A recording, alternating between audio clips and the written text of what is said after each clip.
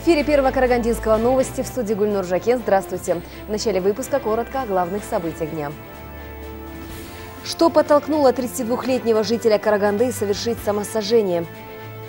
Готовность к паводку – вопрос номер один на контроле у Акима области. Весна не за горами. Какие меры предпринять, если вас укусило бродячее животное? Как уберечься от бешенства?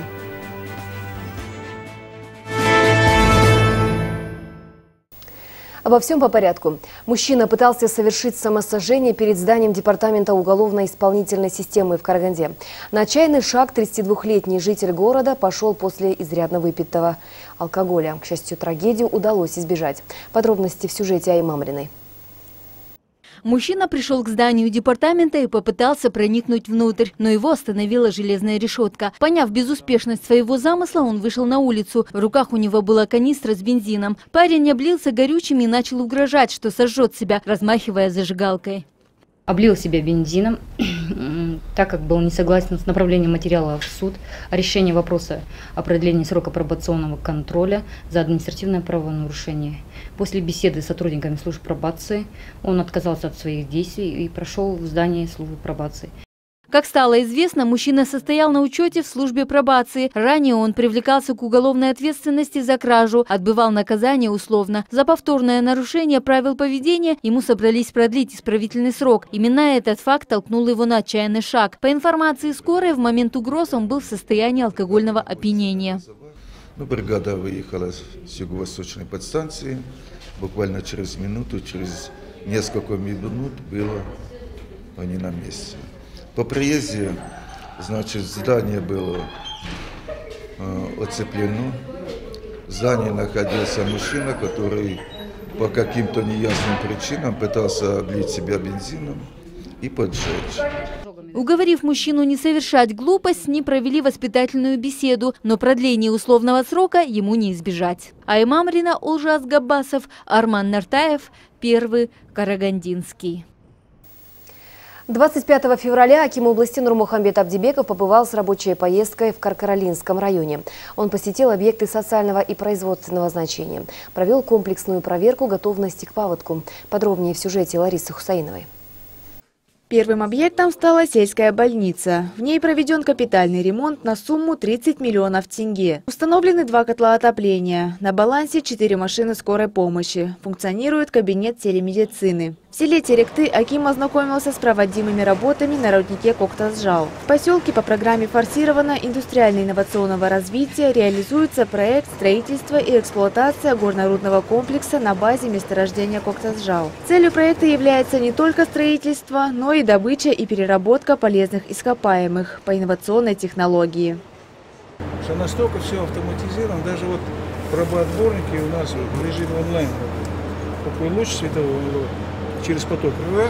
И сразу тебе все содержание. И сразу автоматический реагент.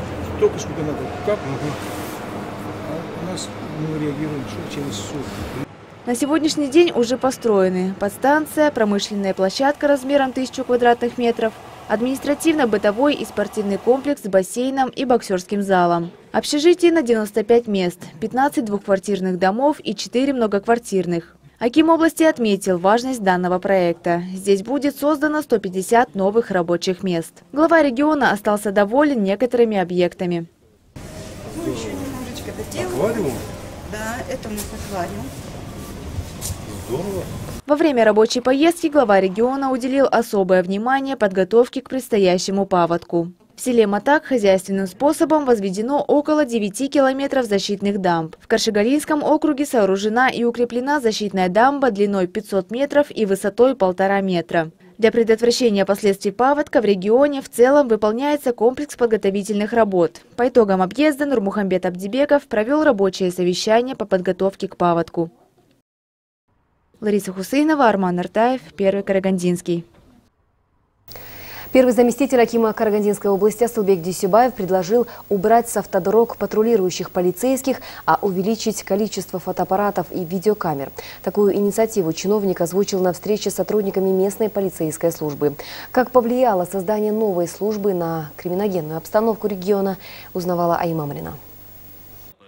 Первый заместитель Акима области отметил необходимость введения новшеств. Дорога без патрульных способствует профилактике коррупционных преступлений среди полицейских, пояснил Асылбек Дюсибаев. Он поручил сотрудникам МПС работать активнее и улучшать показатели по всем направлениям.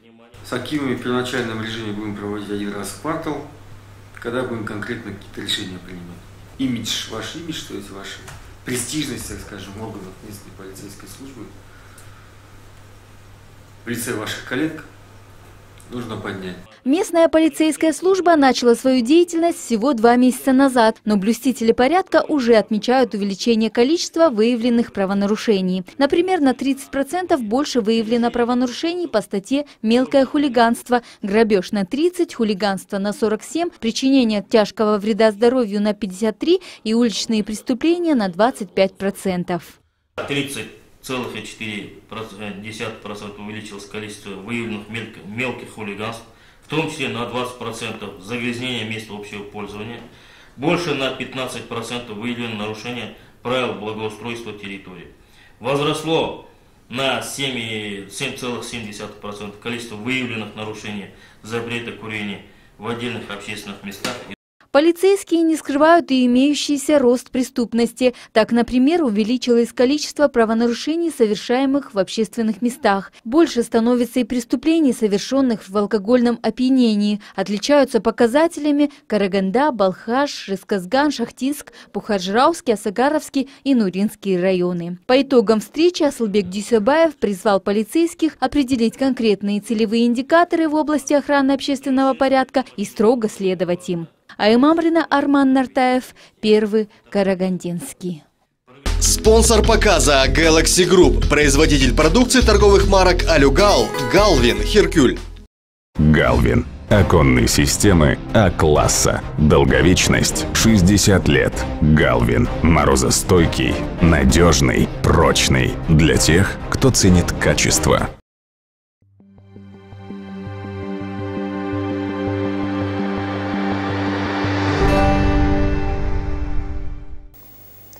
Будьте бдительны. Участились случаи краж имущества граждан в общественном транспорте. Судя по статистике, за два последних года число преступлений в автобусах города только увеличиваются. Для предотвращения проблемы во всех автобусных маршрутах Караганды будут устанавливаться камеры наблюдения. Подробности нововведения смотрите в следующем сюжете.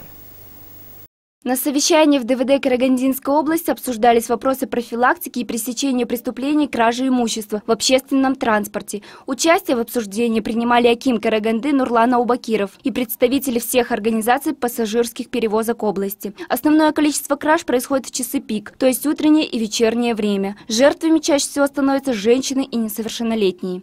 В текущем году за январь и 20 дней февраля этого года произошел рост регистрации краж чужого имущества у граждан в общественном транспорте.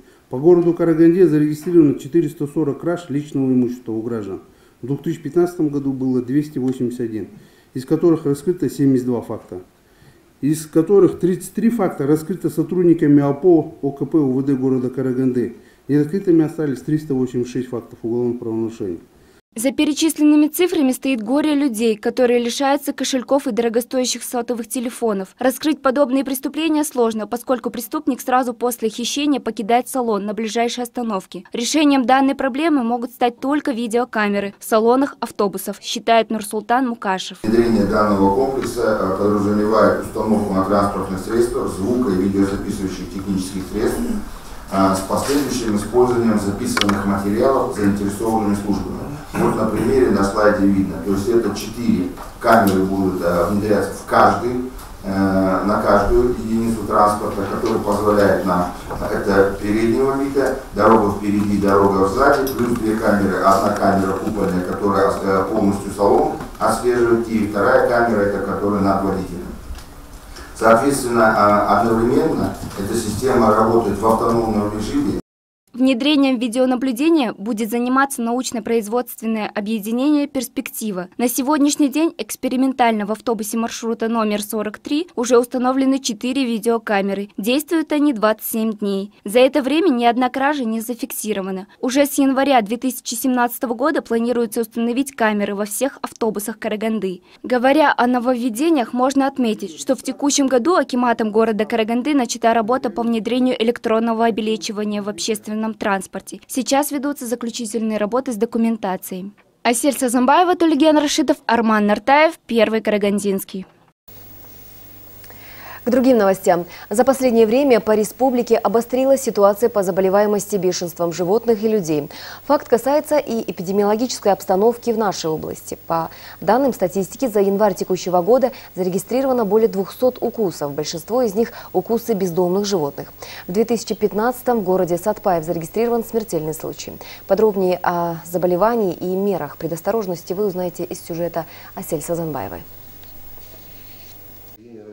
Бешенство – тяжелое инфекционное заболевание, протекающее с поражением нервной системы и заканчивающееся смертью заразившегося. К бешенству восприимчивы как человек, так и дикие и домашние животные. Передача инфекции от больного животного к человеку происходит при укусах, царапинах и последующем ослюнении раны. Вместе со слюной животного передаются и возбудители болезни. Большинство укусов совершается бесхозными животными укус нанесенный животными неизвестным происхождением 569, это 64%.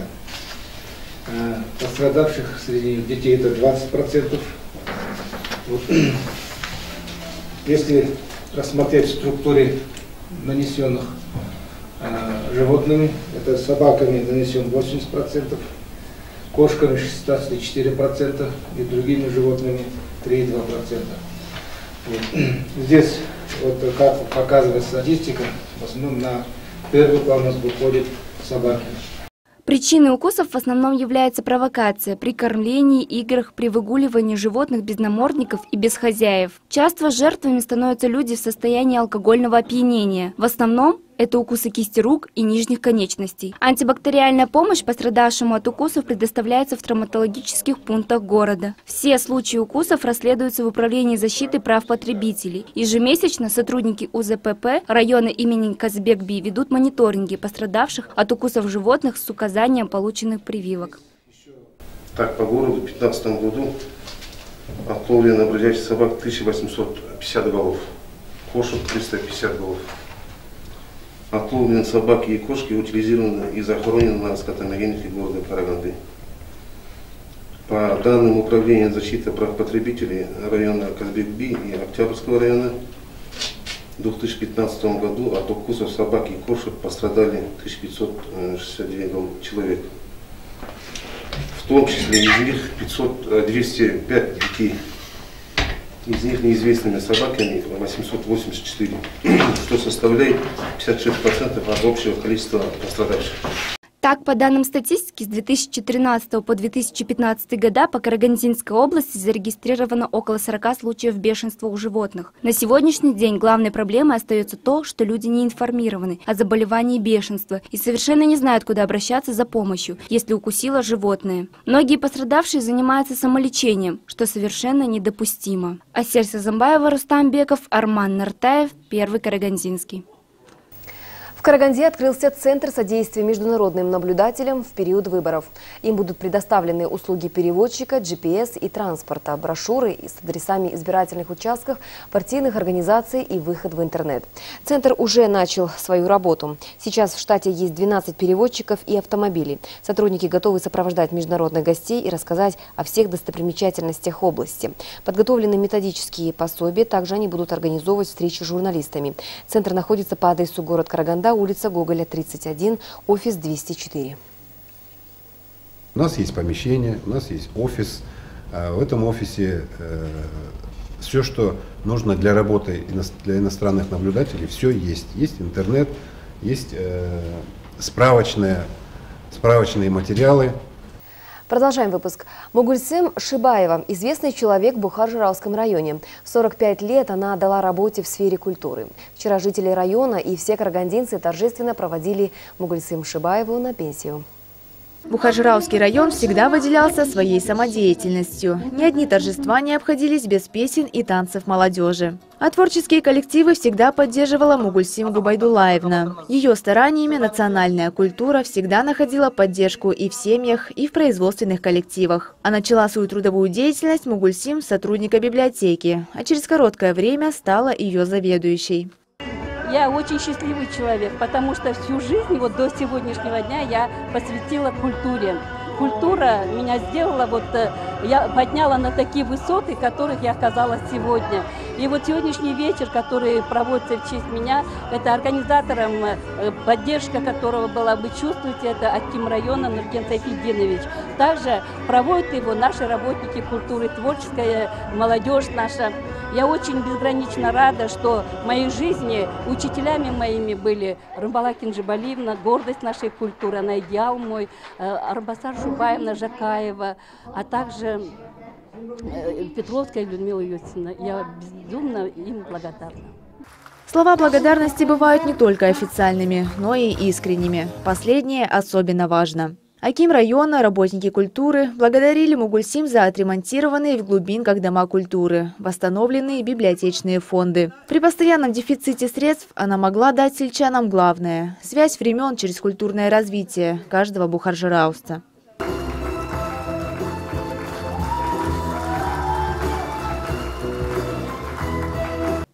Впервые работника культуры так чествовали в районе. Известные акыны Дидар Калеев, Максат Аханов, Айтбай Жумагулов воспели в стихах весь ее жизненный путь, ее дела на благо народа. Сегодня Мугульсим Шибаева – заслуженный деятель культуры страны. Рымбала Умарбекова подчеркнула, что это звание просто так не дается. Страна сильна не только экономическими успехами, но и глубиной восприимчивостью корням своего народа. А это заложено в культуре, которая передает наследие предков своим детям.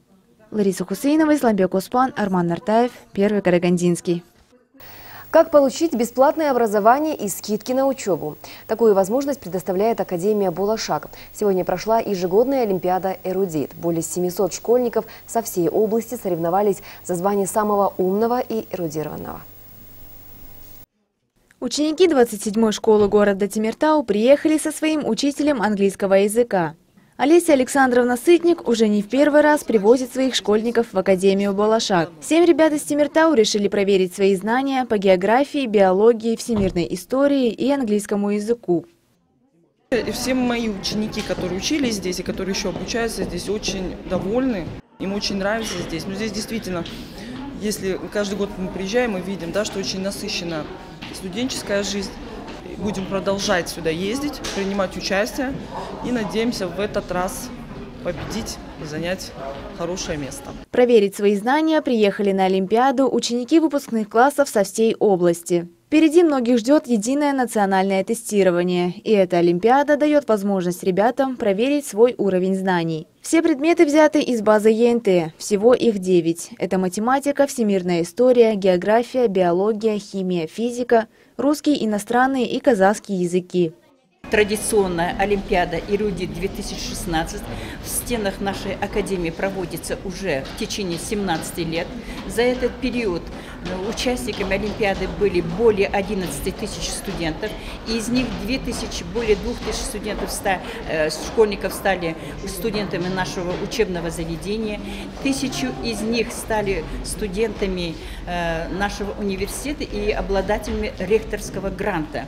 Академия «Булашак» – один из ведущих вузов республики, где готовят конкурентоспособных специалистов. Участвуя в Олимпиаде, у выпускников появляется замечательная возможность до поступления в «Булашак» ближе познакомиться с вузом. Ученик 95-й гимназии Владислав Хе выбрал свой любимый школьный предмет – историю Казахстана.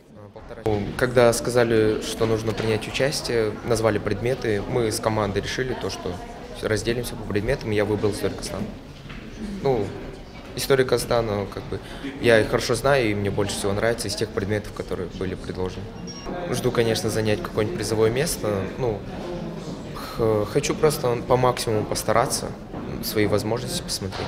Благодаря Академии «Болошак» и Управлению образования Карагандинской области у будущих выпускников появляется возможность обучаться бесплатно или со скидкой. Учителя и сами ученики рады, что есть такая Олимпиада. А пока выпускники соревнуются в знаниях, для учителей школ проводят методический семинар. Лариса Хусейнова, Ужас Габасов, Арман Нартаев, Первый Карагандинский. Это были все новости на сегодня. Благодарю за внимание. Если у вас есть интересная информация, звоните нам по телефону 42 06 49 и смотрите наши новости на сайте канала. Приятных выходных!